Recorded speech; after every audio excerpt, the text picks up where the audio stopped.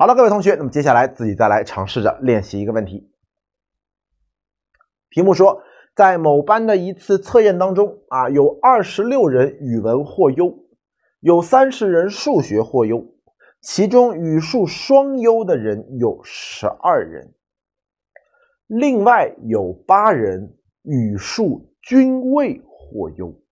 哎，这个条件我们好像之前没有见到过啊。我们之前是不是在订报纸的时候都说啊，每个人至少订一种？然后呢，在刚才讲老师会语言的时候呢，那外语老师那至少得会一门外语，没问题吧？但是在现在这道题当中，你会发现，哎，好像有人两种条件都不满足啊。好，那我来问一下啊，这八个人啊，语数均未获优啊。那如果这是语文或优，这个是数学或优，这八个人在哪儿啊？想一想，呃，在中间吗？注意啊，中间是均或优的人，也就是双优的人。现在这八个人是一个优都没有，那他肯定不在中间，会在左右两边里面吗？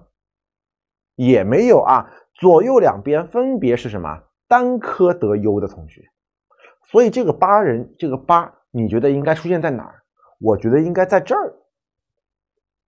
是不是在两个圆的外面啊？没问题吧？好，那么接下来我们要来算这个班的学生的总数啊。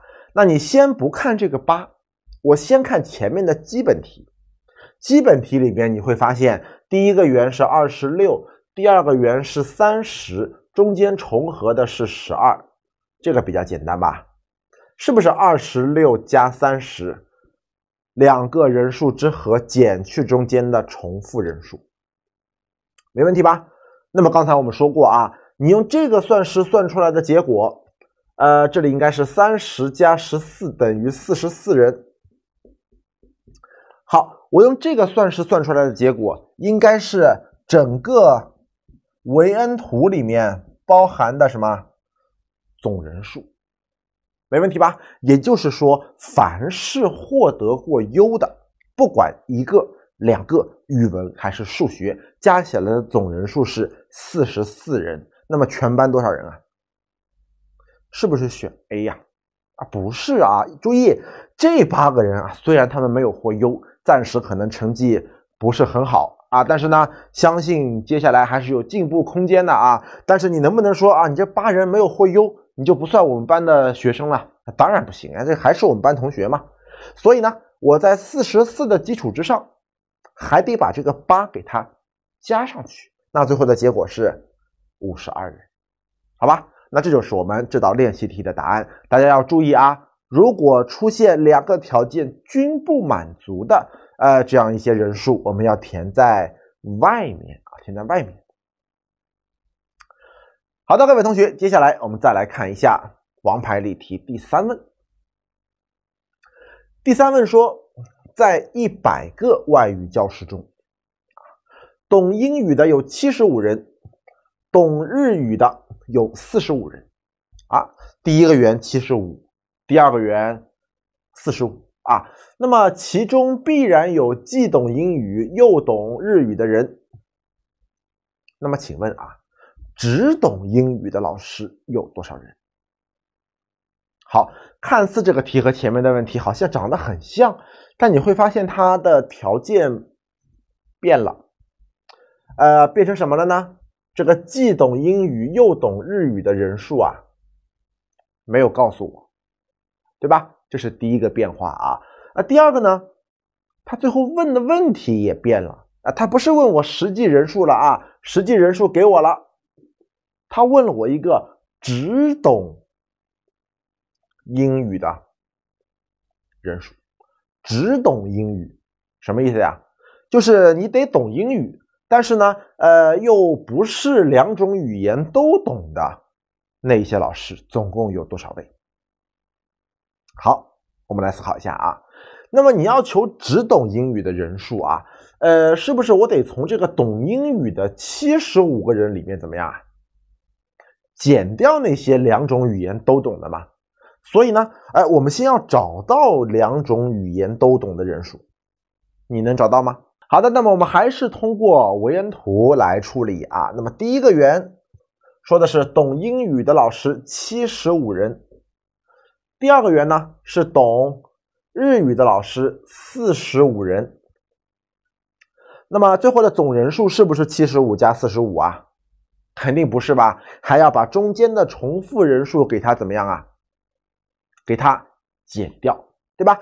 好，所以是四十五加七十五，减掉中间的重复人数，就等于实际的一百人。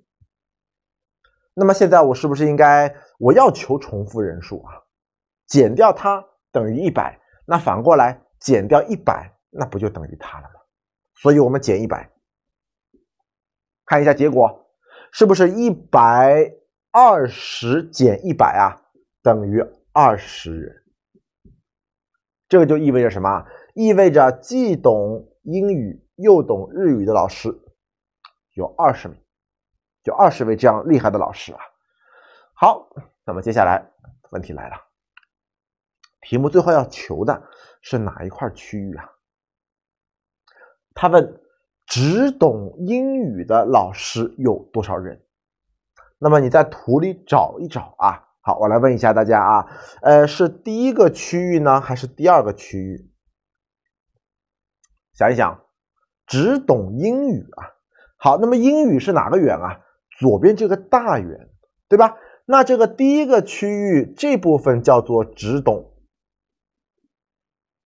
只懂英语。那请问，只懂英语是不是七十五？哎，这个问题不好回答啊。只懂英语是不是七十五人？不是啊，七十五是左边整个大圆，它里面包含了所有懂英语的老师，有可能是只懂英语，还有一部分呢，在这儿叫做两种都懂吧？是不是两种都懂啊？所以你看啊，我最后要求只懂英语，我是不是从七十五里面把两种都懂的人数给它减掉就行了嘛？好吧，所以最后我们写的算式是七十五减二十等于五十五人啊，这个是只懂英语的人数。好，那么这里再练习一下啊，请问只懂日语的老师有多少人？只懂日语，想一想。呃，懂日语的总共是四十五人啊，其中二十人是都会的，我要把都会的给它减掉，排除掉，剩下的都是只懂日语的啊。所以如果求只懂日语呢，四十五减二十等于二十五人，好吧？这个是日语，这个是英语啊。好，那么到这儿这道题我们就给它处理完了。